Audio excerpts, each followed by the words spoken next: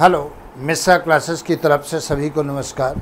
आज नीट से संबंधित एक बहुत महत्वपूर्ण सूचना हम आपको देने वाले हैं। देखिए answer key O M are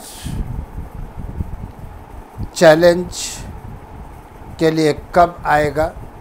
तो आंसर और रिज़ल्ट के बीच में 10 मतलब आंसर की और रिज़ल्ट के बीच में कम से कम 10 से 15 दिन का समय लगता है। आंसर की आ जाएगी उससे 10 या 15 दिन बाद आपका रिज़ल्ट आएगा।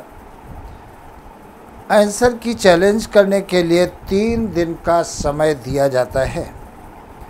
और आंसर की चैलेंज जो आपने किया है उसका रिज़ल्ट पाँच से दस दिन के अंदर आ जाएगा।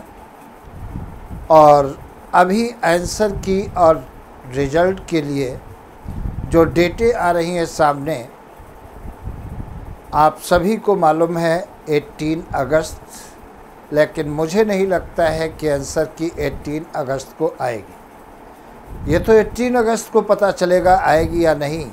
जहाँ तक मेरी ओपिनियन है, नहीं आएगी। और अगर जो आ जाता है तो बहुत ही अच्छी बात, क्योंकि प्रोसेस आगे बढ़ जाएगी। तो चैनल पर अगर नए हैं तो चैनल को सब्सक्राइब कर लीजिए।